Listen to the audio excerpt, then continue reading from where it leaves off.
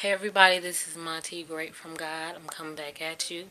I had decided to do the video a little late before 12 o'clock. My video will be about Matthew 6 verses 33 through 34. I hope that all you got your Bibles right now. If you don't, do get your Bibles.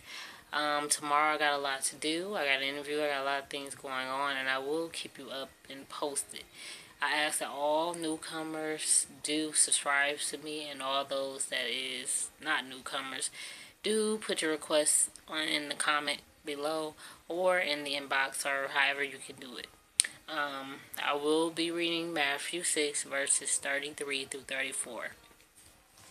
And yes, I've been doing a lot and God's really been touching my heart. I've always asked God to speak through me to tell you guys what I feel that is best for you guys to hear so you can seek him and get a clear understanding. And for some of you that does not understand the Bible and you want to, do please inbox me or comment and tell me which scripture you doesn't understand so I can interpret it to you, you know, through God speaking through me.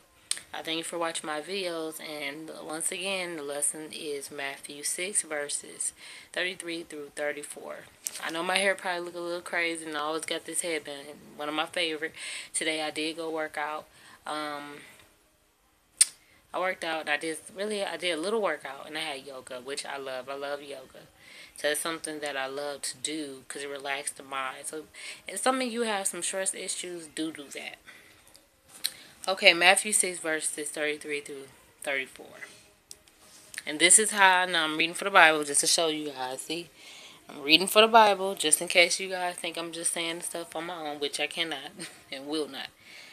But seek first his kingdom and his righteousness, and all these things will be given to you as well.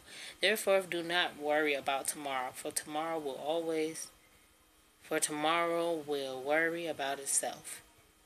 Each day have enough trouble of its own. But seek first his kingdom and his righteousness, and all these things will be given to you as well. Therefore, do not worry about tomorrow, for tomorrow will will worry about itself. Each day has its own trouble of its own. Basically, just focus on keeping God first, and let God lead you instead of you let yourself lead you. And what I that's basically what I get out of that lesson. And another thing is stop worrying about all today. You know, stop stop holding grudges, stop holding on to things. For whatever happened today, let it go, leave it today, and then tomorrow, you know, move forward tomorrow. It's a new day. You know, start over tomorrow. Like whatever happened today happened, but start over tomorrow. Basically that's what I get out of that. I mean it's quite simple. So just don't what if you're arguing and fighting about something, let it go. Don't fight and argue about it. Whoever it is, if you gotta let that person go, let them go.